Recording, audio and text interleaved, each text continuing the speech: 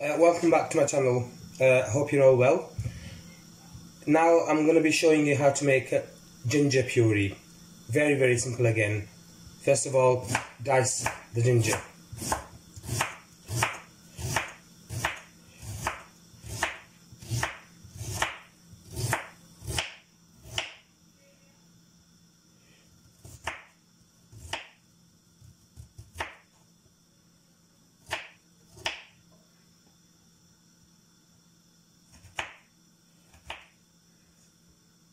So.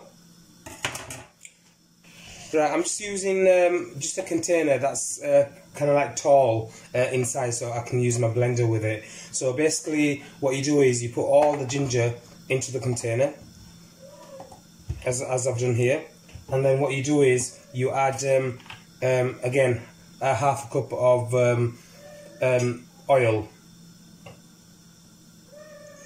and then um, we um, use the blender. Right, okay, so I'm going to blend uh, the ginger.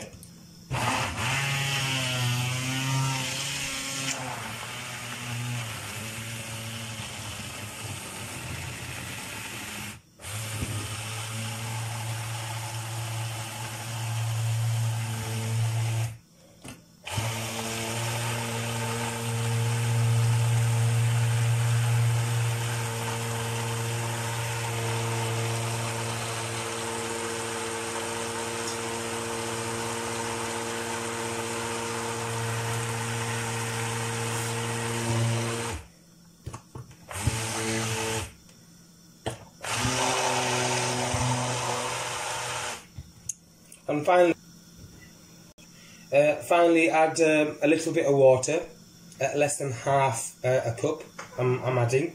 It depends how thick you want the texture of the garlic sorry the ginger puree. Now need to blend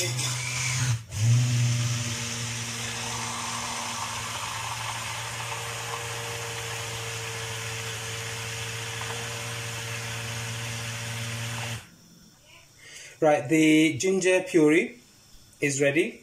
There, you, there you can see the texture of it. I'll just show you in a moment the texture that I've kept of it. So I've kept it sort of like that's the smooth, uh, smooth, uh, smooth that I've kept it.